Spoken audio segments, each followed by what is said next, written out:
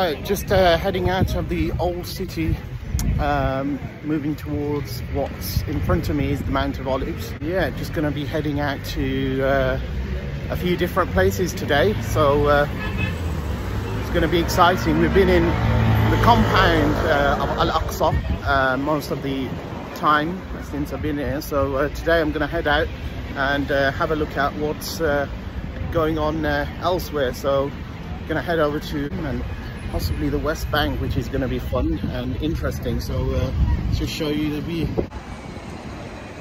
That's the view of the Mount of Olives there. This is just outside the uh, old city. So, so we're sort of still in East Jerusalem, but we're out of the old city now. And uh, there you are, the Mount of Olives Cemetery, the Jewish Quarter, Silwan, the Western Wall is that way and lovely day today. Absolutely beautiful. It's about 20 degrees. So the weather is absolutely beautiful. Um,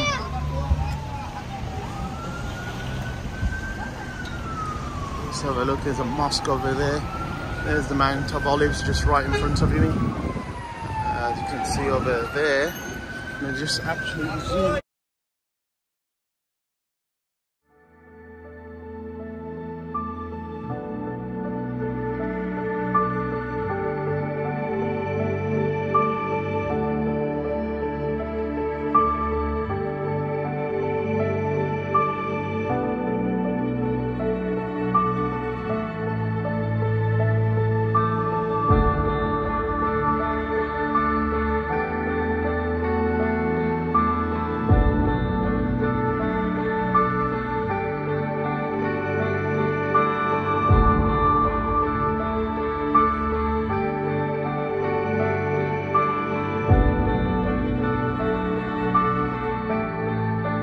to right. Keep a look on the right.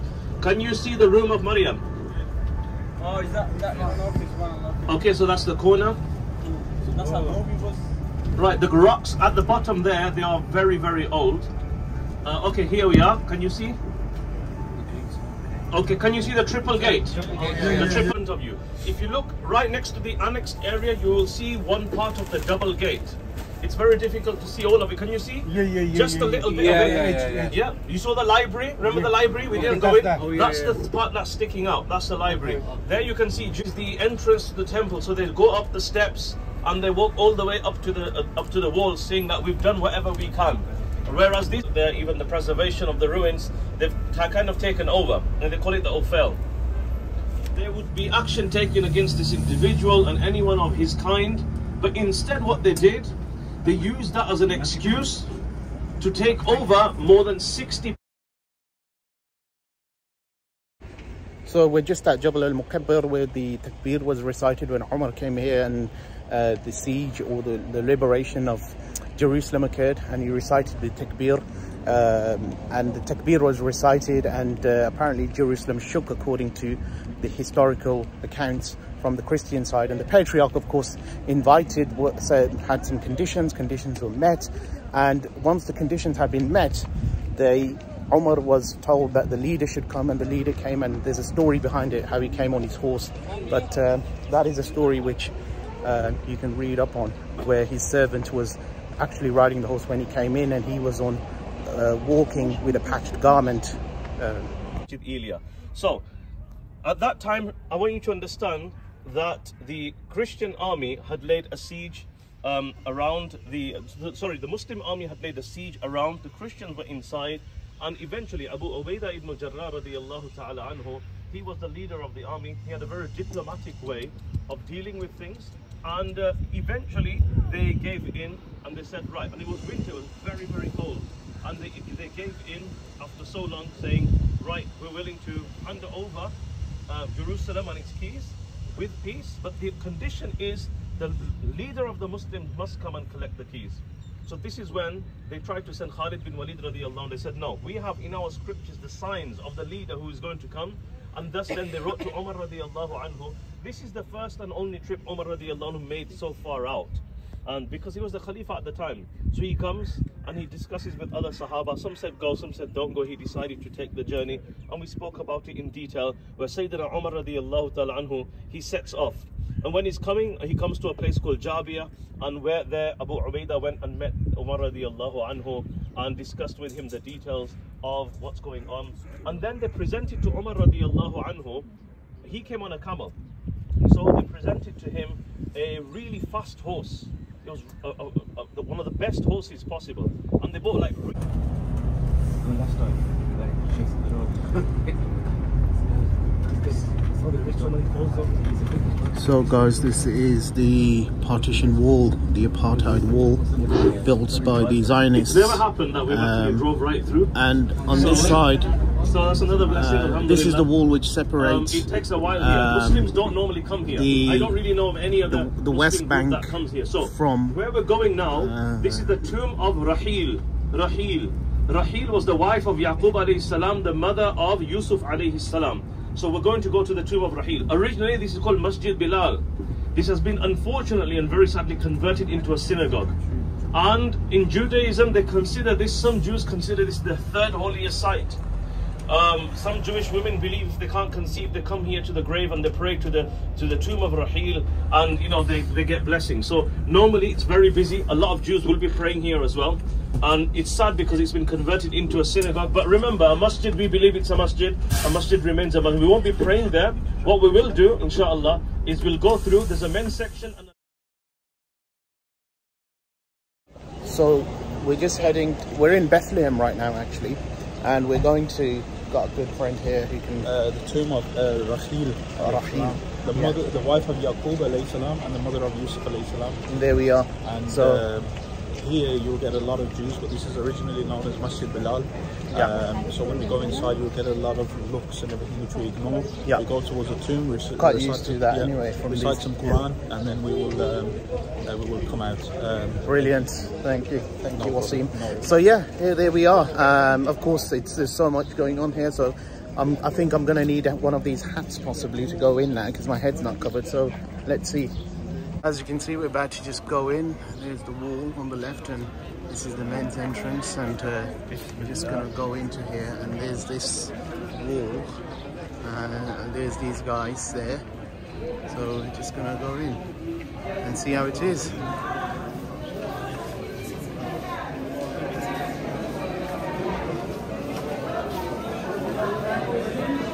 very interesting place this. It's not originally, but now it, seems to be. And uh, yeah, look at this this worship going on here. These fellow Jewish people um, doing their worship. It's very interesting when you learn about another faith, and my knowledge about Judaism is very low, but um, it's very interesting to to get acquainted with their belief system.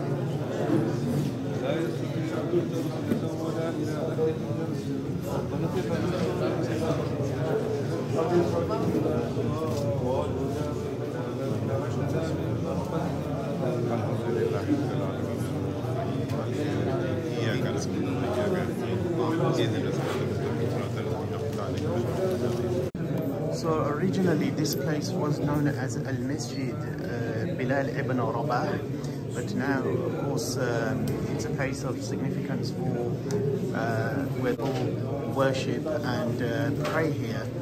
Um, so yeah, this was originally a mosque, but now it is um, it's, a, it's a significant place for our Jewish friends. Here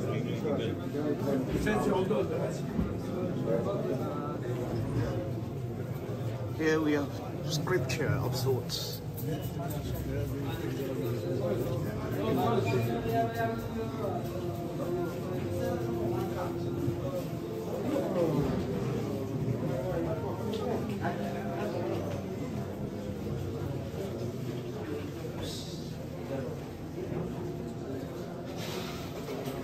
my knowledge of Hebrew is limited, although I know a little, but uh, it's, it has similarities to Arabic to a certain extent, but do another section now.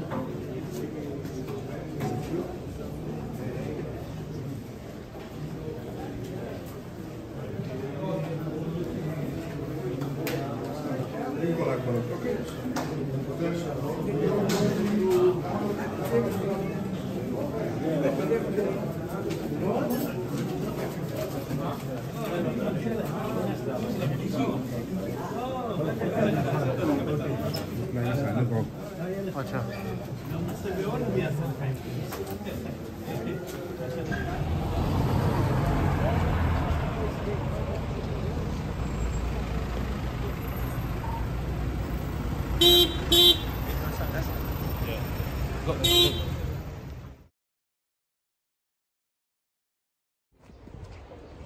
So here I am at the the wall, folks.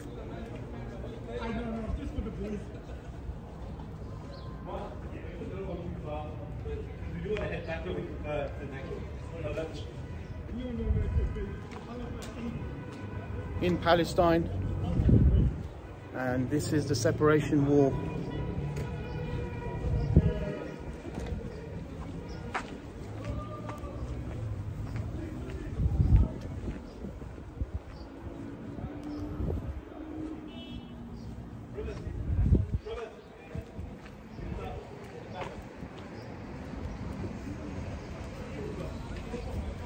We have it. That's the wall.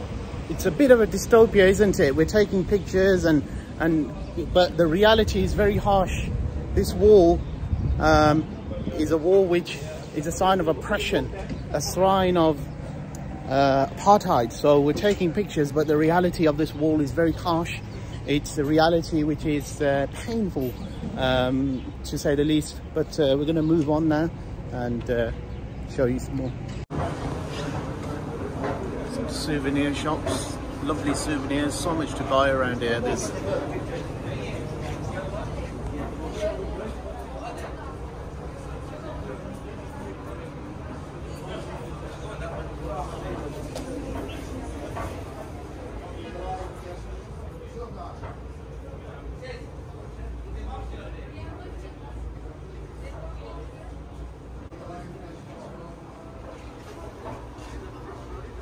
Mary, Joseph, of course.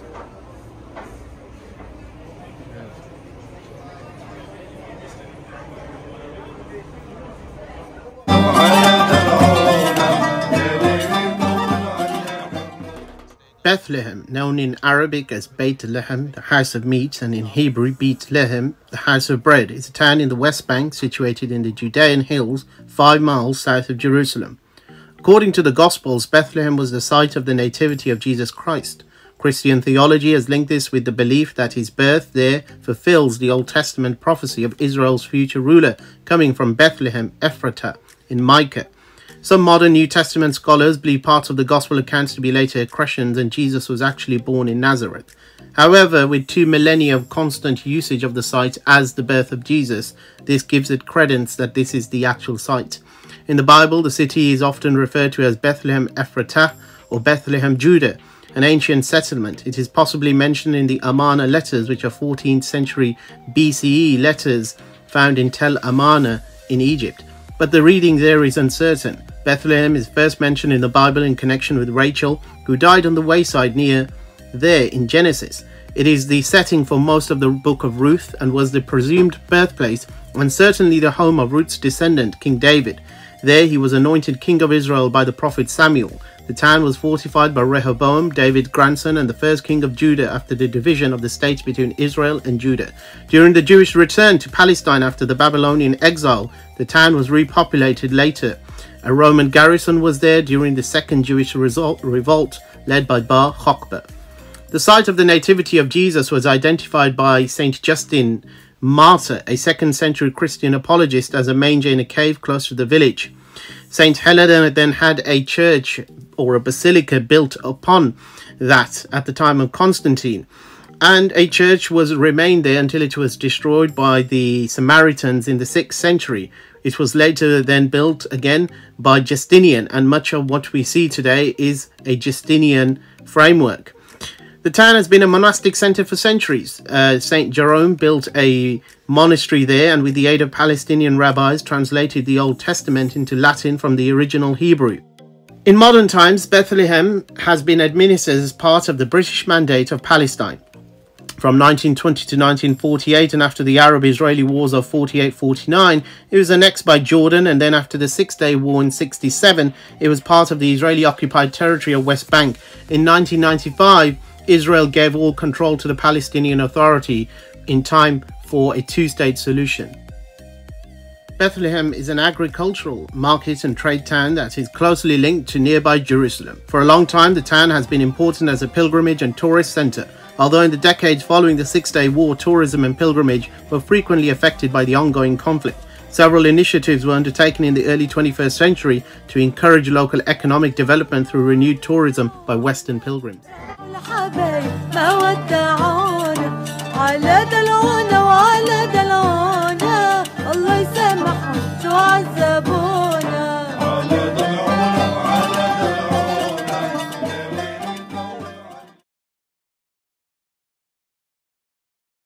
The Church of the Nativity or the Basilica of the Nativity contains the most prominent religious significance to Christians of various denominations, as it is considered the birthplace of Jesus. The grotto is the oldest site continuously used as a place of worship in Christianity, and the basilica is the oldest major church in the Holy Land. It was originally commissioned by Constantine the Great, a short time after his mother Helena visited Jerusalem and Bethlehem in 325. The site was then considered to be the birthplace of Jesus, and the church which was built above it was dedicated on the 31st of May 339. It was probably destroyed by fire during the Samaritan result, revolts of the 6th century, possibly in 529, and a new basilica was built a number of years later by the Byzantine Emperor Justinian, who added a porch and other bits and pieces.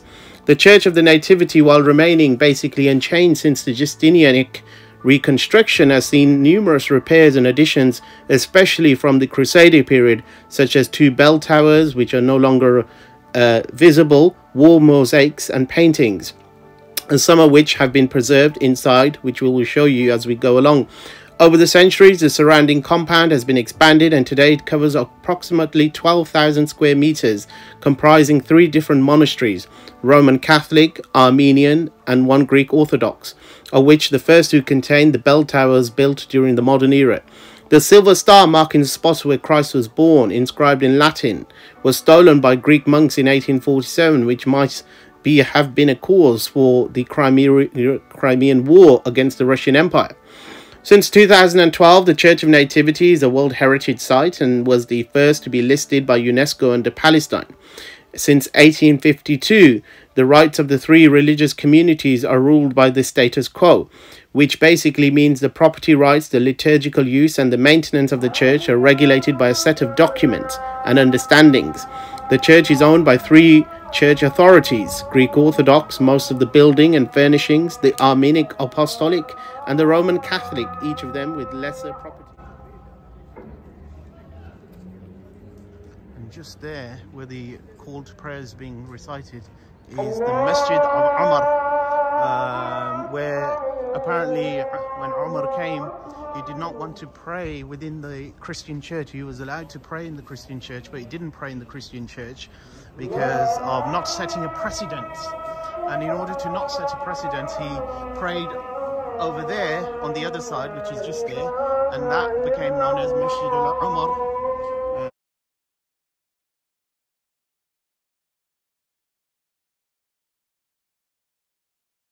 Right, I'm actually now going to be going into this very holy of sites for Christianity, known as the Church of the Nativity, where Jesus is reported to have been born. So I'm just going to head into this church right now, okay? Entry, look at this. To get in, it's a very narrow, narrow entry. And as soon as I walked in, it smells like something from 2,000 years ago. The smell in here is of frankincense and myrrh and all sorts.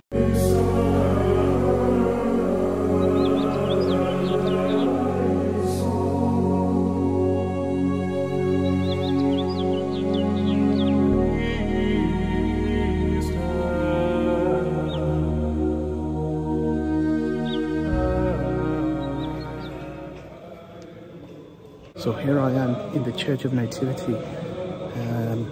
It's very, very holy and respect the, the sanctity of this place where Jesus, the, the Spirit of God um, and uh, the great monotheist, um, the Word of God um, that was born, who taught us how to love God and how to love human creation Um, so yeah, let's show you more of it.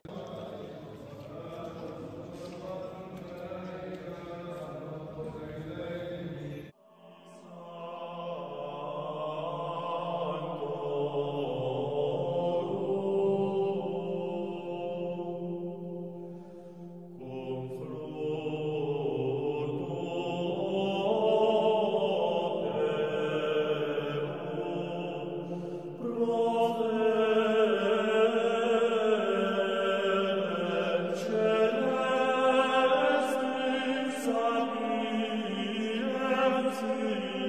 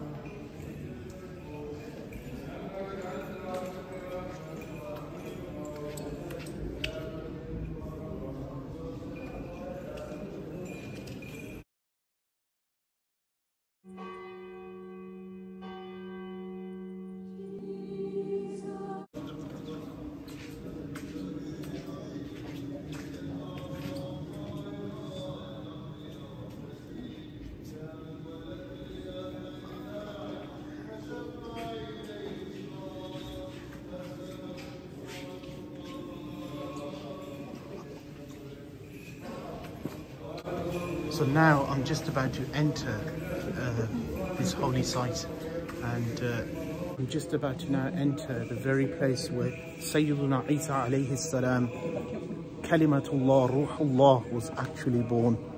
Um, and we know the story from Surah Maryam regarding this birth and this family and the blessings that this family has. So let's have a look.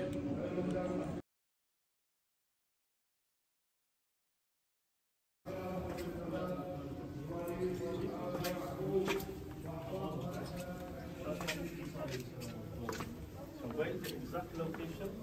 So again, um, Christians generally believe it's over there. There was at one point where a lot of the guys here locally would say that particular corner there, where you will see a hole. Um, so it, to us, it's not. It doesn't really matter. It's very impossible for us to pinpoint an exact location. We're here because we know about the story, and we know that in these particular areas, if the narrative is correct, then a great thing happened, like the birth, the miraculous This is the Grotto of the Nativity where Jesus is said to have been born. It's an underground space in the crypt of the Nativity Church and it is situated underneath it, the main altar and is normally accessed by two staircases on either side of the chancel. The grotto is a part of a network of caves which are accessed from adjacent church of St. Catherine's. The tunnel-like corridor connecting the grotto to the other caves is normally locked. The cave is in the eastern niche said to be the place where Jesus was born, which contains the altar of nativity. The exact spot where Jesus was born is marked beneath this altar by a 14-pointed silver star with the Latin inscription, Here Jesus Christ was born to the Virgin Mary. It was installed by the Catholics in 1717, removed allegedly by the Greeks in 1847, and replaced by the Turkish government in the 1853. The star is set into the marble floor and surrounded by 15 silver lamps representing the three Christian communities. Six belong to the Greek Orthodox, four to the Catholics, and five to the Armenian Apostolic. The altar of the Nativity is maintained by the Greek Orthodox and Armenian Apostolic churches. The significance of the 14 points on the star is said to represent the three sets of 14 generations in the genealogy of Jesus Christ. First 14 from Abraham to David, then 14 from David to the Babylonian captivity, then 14 more to Jesus Christ. In the middle of the 14 pointed star is a circular hole through which one can reach in to touch the stone that is said to be the original stone that Mary laid on when she gave birth to Jesus. Roman Catholics are in charge of a section of the grotto known as the Grotto of the Manger, marking the traditional site where Mary laid the newborn baby in the manger. The altar of the Magi is located directly opposite from the manger site. In the Church of St. Catherine, you will find the cave entrance points, and underneath are these caves where over 2,000 or more bodies, skeletons, and remains have been found and it is said it is Herod the Great, or Herod the tyrant more so, who killed many because he was vying against Jesus uh, for the coming Messiah. And he had this sort of competition which led him to kill so many people to prevent the birth of Jesus. So normally it takes an over an hour to get into this location. Normally there's so many people here, um, worshippers, believers coming here to see where this great prophet of God um, Jesus who will come back and bring justice with the Mahdi and kill the Dajjal. I mean, Jesus is no small prophet and it's, it's a shame we Muslims sometimes don't fully reflect on this character that Quran has devoted so much to, um, you know, in terms of what Jesus taught about love for human beings and the idea of Allah subhanahu wa ta'ala is a Rabb. He nurtures, he, he, he nurtures human, his creation. And in that sense, the idea of father is not accurate, but there is the idea of Rabb within our tradition, which speaks about God nurturing human beings. And this is the very place where Jesus was born. This is, it's electrifying atmosphere in here. It's spiritually charged and uh, let's just show you some more parts of this.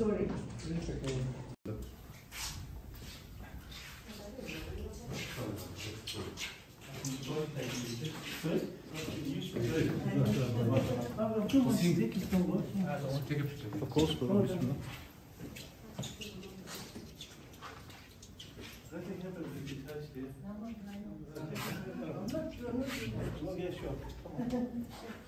I'll take three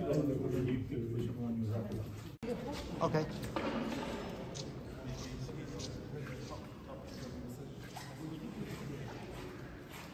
This is a message from heaven. This is a message from.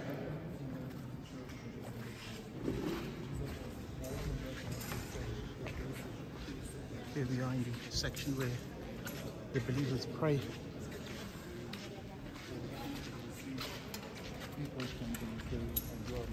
Thank you very much. I appreciate that. Thank you very much. Much appreciated. Here we have the priest, and uh, this is the priest who who performs the services here. Assalamu alaikum. Taqabbalallahu a'malakum wa a'maluna insha'Allah. Assalamu alaikum, ya Isa ibn Maryam. Ruhullah wa kalimatullah.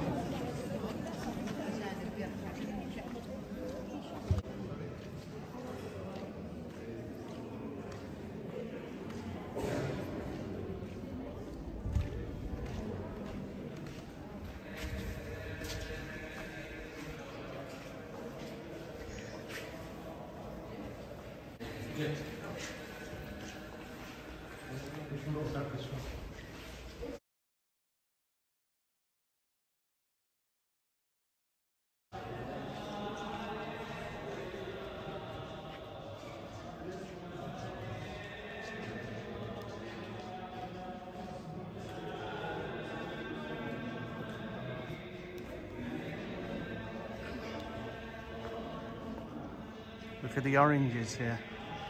Wow.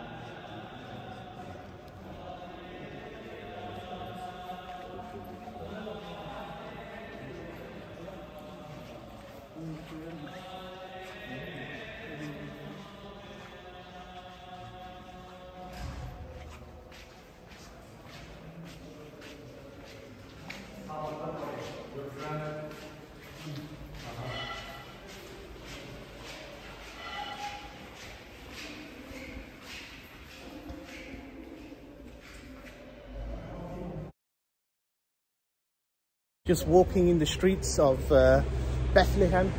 Look at it. Look how beautifully clean the streets are.